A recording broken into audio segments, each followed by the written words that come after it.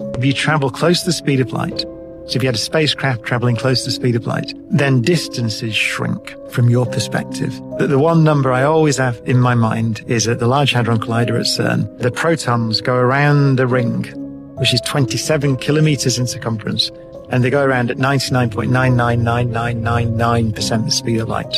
So close to the speed of light. At that speed, distances shrink by a factor of 7,000. And so that ring is something like four meters Whoa. in diameter to the protons. According to laws of physics, if you can build a spacecraft that goes very close to the speed of light, you can shrink the distance to the Andromeda galaxy and therefore the time it takes to get there. You could traverse across that distance in principle in a minute, according to physics.